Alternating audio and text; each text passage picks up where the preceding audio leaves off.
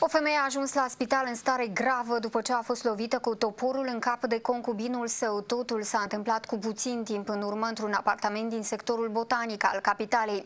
Vecinii sunt cei care au alertat poliția când au auzit țipete în apartament. Oamenii legii au scos femeia din mâinile bărbatului, aceasta fiind transportată de urgență la spital.